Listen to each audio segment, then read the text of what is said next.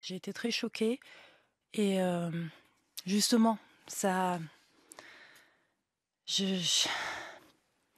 Là aussi, c'est difficile parce que en ce moment, on voit que, que certains cherchent la division, alors que la France, justement, c'est les Lumières, la France, c'est la fraternité, la France, c'est la solidarité entre les peuples.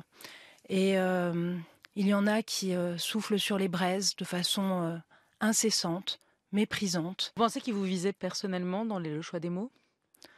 Ce qui est sûr, c'est que, euh, connaissant un peu Jean-Luc Mélenchon, je suis convaincue qu'effectivement le mot camper n'a pas été choisi par hasard et que le fait que je favorise les massacres, c'est euh, à nouveau une nouvelle cible qu'on me met dans le dos.